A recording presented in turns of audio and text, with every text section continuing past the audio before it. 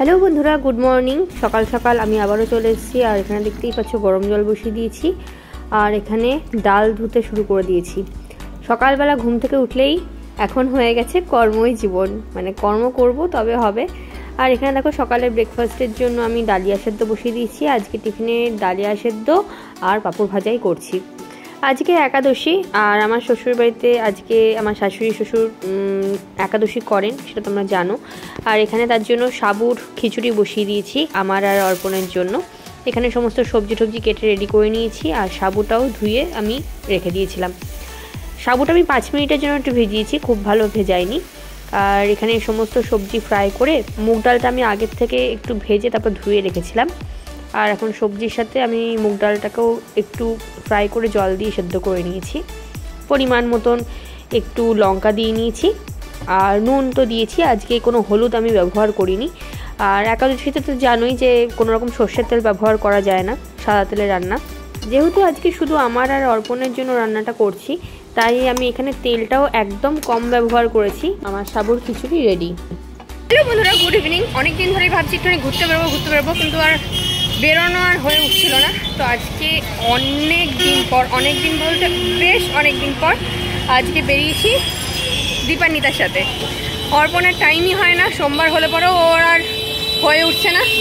শেষ পর্যন্ত ওকেই জোগাড় করেছি আর ওকে নিয়ে বেরিয়ে পড়েছি। কথা তুমি না। হ্যাঁ ওই বলেছিল আমাকে বেরোনোর কথা। তো চলো আর তার মধ্যে দেখো অন্যদিন যেদিন ভালো ওয়েদার থাকে সেদিন বেরোই না। আজকে বৃষ্টি পড়ছে বৃষ্টির মধ্যে বেরিয়েছি।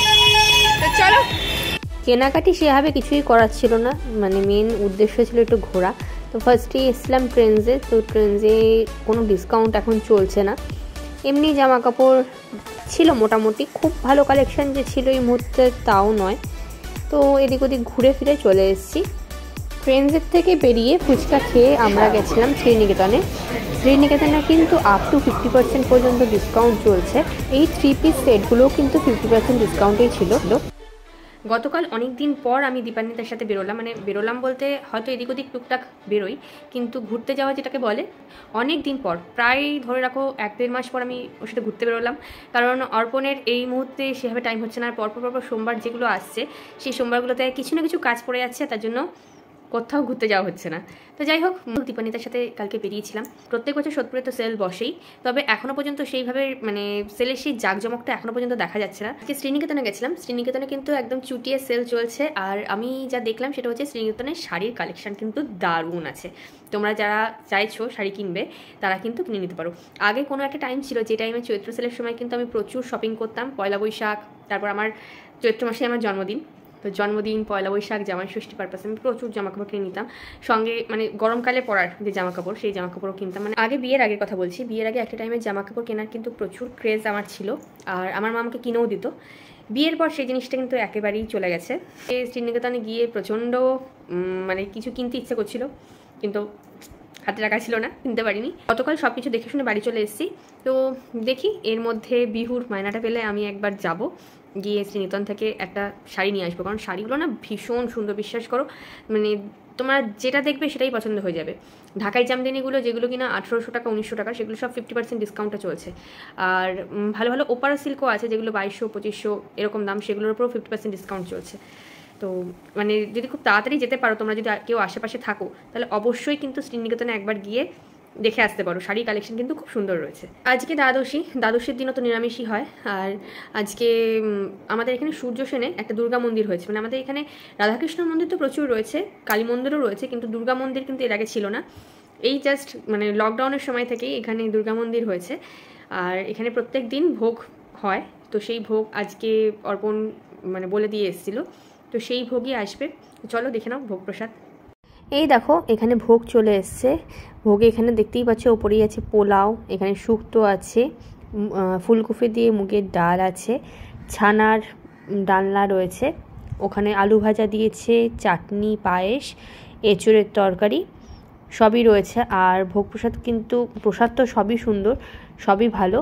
আর এমনিতে রান্নাবান্না কিন্তু খুব খারাপ ছিল না, ভালোই টেস্টি ছিল। এখন যেমন অনেক মন্দিরেই প্রসাদ একটু অন্যরকম হয়, তার থেকে কিন্তু এখানকার প্রসাদ অনেক ভালো ছিল। দ্বাদশীর দিন মানে রোববার দিনই আমার বড় মাসির শাশুড়ি আমাদের বাড়িতে এসেছিলেন। তো সেদিন তো এই ভোগ প্রসাদ দিয়েই সবার হয়ে গেছিল। আর আজকে মাসি বলেছে যে আমার হাতে রান্না খাবে। কিন্তু মাসির পছন্দ মতন। তাই মাসি এখানে দাঁড়িয়ে রয়েছে। আমি ঠিকঠাকভাবে মাসির পছন্দ মতন মাসির টেস্ট অনুযায়ী রান্না করতে পারছি কি না সেটা দেখার জন্য। মানে মাসি আজকে যেভাবে বলেছিল, সেভাবেই আমি রান্না করেছি। মানে খুন্তি নাড়িয়েছে আমি আর মাসি সব কিছু বলে দিয়েছে। তো মাসি এখানে মানে আমি যতক্ষণ রান্না করেছি, মাসি কিন্তু এক ফোটাও নড়েনি। দেখো, মাসি একদম কড়া দিদিমণির মতন কোমরে হাত দিয়ে দাঁড়িয়ে দেখছে যে আমি ঠিকঠাক করছি কিনা। তো এখানে আমি আজকে করেছিলাম হচ্ছে টমেটো দিয়ে মুসুরির ডাল, জিরে আর কাঁচা লঙ্কা দিয়ে কাতলা মাছের ঝোল। যদিও আমি কিন্তু এরকম বড় সাইজের কাতলা মাছ হলে একটু পেঁয়াজ, রসুন দিয়েই পছন্দ করি খেতে। আর মাসি বলল এই উচ্ছে ভাজাটার মধ্যে মৌরি ফোড়ন আর একটু চিনি দিয়ে করতে। তো মাসির পছন্দ মতন আজকে মৌরি ফোড়ন আর একটু মিষ্টি দিয়েই উচ্ছেটা ভাজা হয়েছে। আর মাসি বলছিল যে শাহি গরম মশলা ব্যবহার না করে এইভাবে যদি গরম মশলাটা বেটে রান্নায় দেওয়া যায় তাহলে পর রান্নার টেস্ট আরও অনেক ভালো হয়। সেটা একদম কথা যে যে কোনো বাটা মশলা যদি রান্নায় ব্যবহার করা হয়, তাহলে কিন্তু সেটার স্বাদ অনেক গুণে বেড়ে যায়। তো আমি শিল নোড়াতে খুব ভালো মশলা বাটতে পারি না। মানে আমার মশলা এরকম মিহিন হয় না। আর মাসি দেখো, তার জন্য বেটে দিয়েছি কি সুন্দর হয়েছে মশলাটা। আজকে বড় মাসির কথা মতন রান্না করলাম ঠিকই। কিন্তু বড় মাসি কিন্তু রান্না খেয়ে একবারও বলল না যে ভালো হয়েছে না মন্দ হয়েছে। নিশ্চয়ই খুব একটা ভালো লাগেনি। ভালো লাগলে হয়তো বলতো, ভালো হয়েছে। তো যাই হোক আমি আমার লেভেল বেস্ট করার চেষ্টা করেছিলাম। আজকে কিন্তু আমার রান্নাবান্না কমপ্লিট হয়ে গেছে, আর রান্নাবান্নায় অবশ্যই মাসিও কিন্তু হেল্প করেছিল আমায়। যাই হোক, মাসির হেল্প করার জন্য কিন্তু আজকে রান্নাটা অনেক তাড়াতাড়ি হয়ে গেছে। মানে আজকে বারোটা বাইশের মধ্যে আমার রান্না কমপ্লিট হয়ে গেছে। এটা কিন্তু রেকর্ড যে বারোটা বাইশের মধ্যে এই বাড়িতে আমার রান্না কমপ্লিট হয়েছে, কারণ আমার কিন্তু এত তাড়াতাড়িও রান্না হয় না। রান্না হতে আরও একটু সময় লাগে। চৈত্র মাস তো পড়েই গেছে। এখন আস্তে আস্তে আবার ঘর দোর ঝাড়ার দিন চলে আসছে। মানে বছরের শেষে তো আবার ঘর দোর ঝাড়ার ব্যাপার থাকে পুজোর আগে আর এই চৈত্র মাসে। তো এর মধ্যে আরও অনেক কাজ আছে। এখানে এসি পরিষ্কারের ব্যাপার আছে, তারপর পুরো ঘর ঝাড়ার ব্যাপার আছে। তো এখন হিসাব মতন এই দিনগুলো না একটু মানে আস্তে আস্তে দিনটা বড় হচ্ছে ঠিকই, কিন্তু কাজের চাপও অনেক বাড়ছে। আর আরেকটা জিনিস, এখন কিন্তু ওয়েদারটাও একটু অন্যরকম মানে হঠাৎ করে কেমন ঠান্ডা পড়ে গেল, দেখো। আমাদের এখানে তো গতকাল, গত পরশু আমি সারাদিন ফ্যানই চালাইনি। এরকম ঠান্ডা গতকাল রাতেও ফ্যান অফ করে ঘুমানো হয়েছে আর কি। লাগছে না, ঠান্ডা লাগছে। তো ওয়েদারটা কেমন হচ্ছে না? চৈত্র মাসে কিন্তু কখনো এরকম হয় না কিন্তু ভালো গরম থাকে। কিন্তু এই বছরের চৈত্র মাসটা একদম অন্যরকম।